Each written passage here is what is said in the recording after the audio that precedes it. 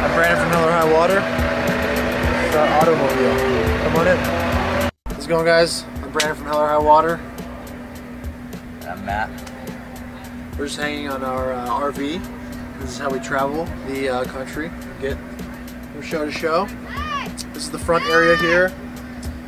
People yelling outside always.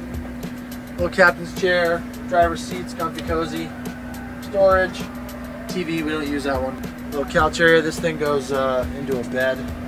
So we can have guests out, sleep two more people on this. Holds uh, a Waka kickball approved. Yeah. We only play Waka kickballs. Uh, it's basically a tour essential. Got a little table area here where my wife uh, and our tour manager is getting us a hotel for tomorrow.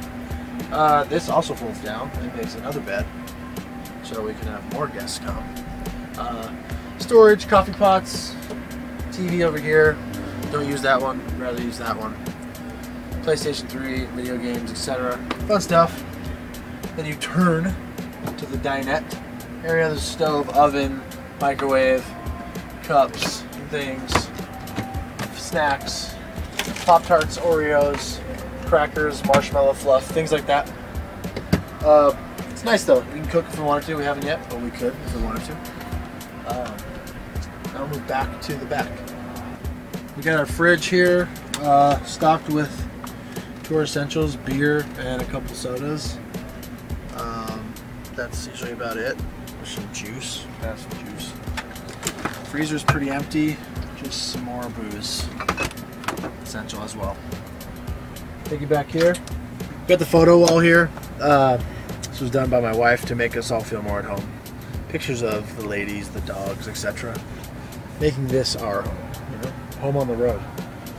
Um, we converted the back uh, area. It used to be a bedroom a queen bed. We converted it into six bunks.